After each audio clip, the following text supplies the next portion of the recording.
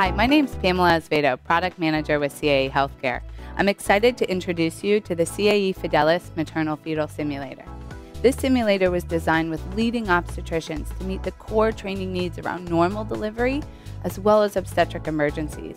It's the first simulator in the CAE Fidelis line, and it's designed around serviceability, reliability, and durability. Each one of the features on this simulator ties back to those core needs as well as the training needs established for this platform. Learners are able to play an active participant in understanding the roles of normal delivery. They can utilize the static services to understand when doing pelvic examinations, different effacement and dilatation. They can utilize the Leopold's fetus, which was specially designed to understand fetal palpation. Essentially, it's hard where it's supposed to be hard and soft where it's supposed to be soft. Learners have the ability to monitor and interact with the CTG, giving baseline variability, accelerations, and decelerations. During normal delivery, they can actually palpate contractions as the baby labors down with the contractions. The CAE Fidelis birthing ring was designed and tested to withstand multiple births. It alone has been tested for over 120,000 rotations without failure on the motor. Each feature of this simulator is designed to enhance the learning objectives of our learners, whether it's the rapid blinking and reactive eyes, voice that can be controlled through the software or by the instructor, pulses throughout, carotid, brachial, radial, popliteal. Each one of those pulses, you can adjust the strength based on the physiology. When you're looking at different obstetric emergencies like eclampsia, She's got a really nice redesigned convulsions feature where you're going to get trembling of the hands. You'll get rapid eye blinket, tightening of the jaw where it's constantly seizing back and forth. And because of her physiology, any resuscitation done to the mom is going to have a direct impact on the fetus. She's the only birthing simulator with integrated maternal fetal physiology that's been validated. And when you're looking at obstetric emergencies such as maternal cardiac arrest, this is crucial.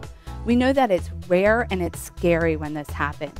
And this simulator was designed to give those practicing clinicians the opportunity to train on every aspect of cardiac arrest. Whether it be intubating her either nasally or orally, she's got a new designed airway that's 100% leak free, fully supports ET tubes, LMAs, and she's the only birthing simulator in the market that fully supports mechanical ventilation. When they're doing chest compressions, they can recognize it put her in a left lateral tilt, which will be detected for after action review. They're going to get a nice two inch chest compression, and it's actually going to detect hand placement, rate, recoil, ventilation, and because of the physiology, it's going to give you the coronary and cerebral perfusion pressures. All of that's logged for after action review. She also supports live electrical therapy, so you can pace and defibrillator She's got four lead ECG, and it also has dynamic 12 lead ECG in the system. When you're looking at things like breech delivery, this simulator was designed to meet those core training needs perfectly. The fetus that's utilized during active labor has no exposed metal, so during palpation, they can easily diagnose a breech delivery. It also supports delivering in multiple positions sitting, squatting, all fours. Because of the birthing mechanism that's a quiet design and will continue to labor down, the instructor doesn't have to manipulate during a breech delivery. They can support the hands off training need of breech delivery. You can also simulate utilizing instrumental delivery or arrested labor with instrumental delivery.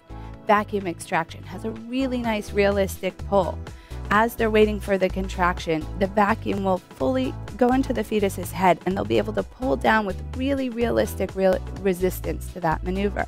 Forceps are supported as well. When you look at another one that's really critical, like shoulder dystocia, and essentially the maternal fetal simulator was designed to improve the way that our clinicians train and manage for shoulder dystocia. Each aspect of the protocol for shoulder dystocia is made better on CAE Fidelis. I'm going to give you a quick demonstration of the shoulder dystocia. A few things that you'll notice as we go through and do the different maneuvers. Each one of these is logged and detected. We know that a critical thing when learners are training for shoulder dystocia management is understanding the time between when the head was delivered and when the body was delivered. And so with each maneuver being detected, it gives our instructors a great opportunity to, to brief with their learners. You'll notice as the baby labors down, it's going to get, you'll see the head clear the perineum and then it'll pull back in, simulating the turtle sign. Once it does that, there's actually a bladder that sits up underneath the birth canal. And this is going to lift the fetus, really wedging that shoulder behind the bone and really simulating a shoulder dystocia. It is the most realistic presentation of shoulder dystocia in any birthing simulator to date. The instructor, the leading obstetrician, can then go through and call out different maneuvers to practice. Once you start with McRoberts maneuver, you're going to see a really nice observable pelvic tilt. When we go through and do suprapubic pressure, she actually has a pubic symphysis bone. And so it's not just pushing down, but it's understanding where that landmark is and in what direction I need to bear down to release that shoulder. If those two maneuvers fail, they can practice doing internal maneuvers, internal rotation.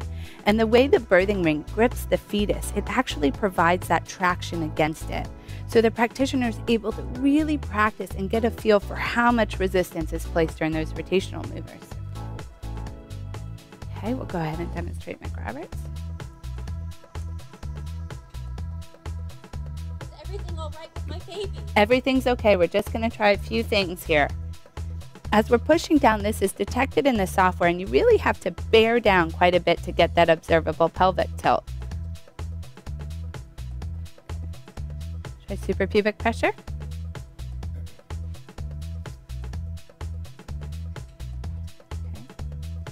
The instructor has the ability through the Muse software to detect which one of these maneuvers will actually release the shoulder. If we go through, we did McRoberts, we did suprapubic pressure, they've tried internal rotations. They can actually go through and deliver the posterior arm as well. And the articulation of the fetus really allows them to scoop past that shoulder and deliver the arm. When all else fails, they can also try a Zavanelli maneuver, where they're able to tuck the fetus's head down and push it back into the uterus in preparation for an emergency C section. Once the baby's delivered, you're going to see a virtual APGAR score, a one minute and a five minute APGAR score. And this is based off the arterial and venous blood gas values.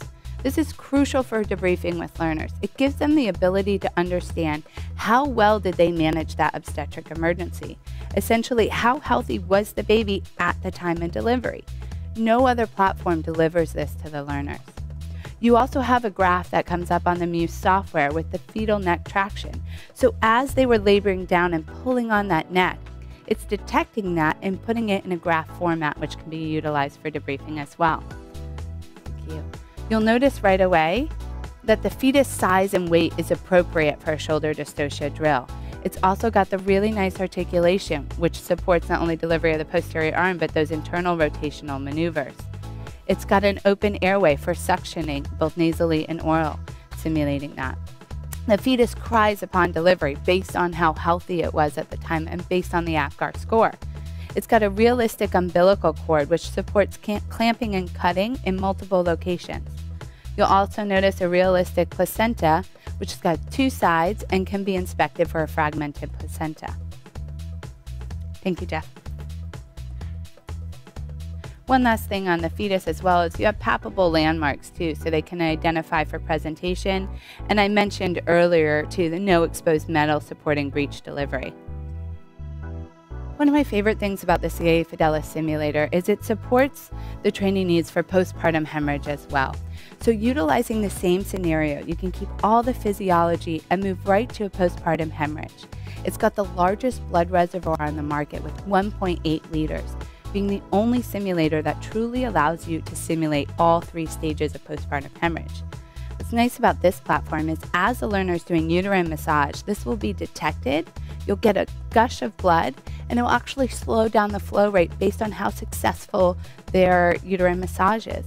So they can assess for uterine atony. They can have a boggy uterus, and as they massage it, it becomes contracted. The instructor can set it to become boggy again over a 15 minute period. It supports bimanual compression as well and placing a uterine balloon. All of the aspects around postpartum hemorrhage. And we know that um, you can also support a partially or fully inverted uterus as well, where this can uh, go through. Through the software, you can provide a gush of air that prevents reverting the uterus and uh, moving the simulator to surgery as well. So, again, whether it's practicing to understand the different stages of normal delivery or it's practicing for an obstetric complication like postpartum hemorrhage, of course, maternal cardiac arrest, eclampsia, cord prolapse. Uh, we have a placenta insufficiency uh, patient profile in the Muse software. Each one of these things are made better with Fidelis because she was designed to be the most reliable and repeatable birthing simulator and the only one that delivers every time. I hope that you enjoyed the short presentation of the CAE Fidelis Maternal Fetal Simulator. If you have any questions, please reach out to your CAE healthcare representative, which can be found on our website, www.caehealthcare.com. Thank you very much.